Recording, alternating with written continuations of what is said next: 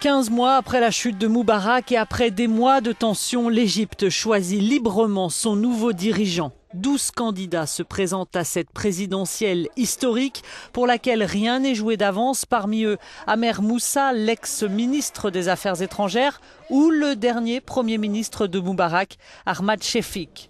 Tous deux représentent ce dont de nombreux Égyptiens ne veulent plus, la continuité du régime, mais ils incarnent aussi la stabilité après des mois de transition mouvementée.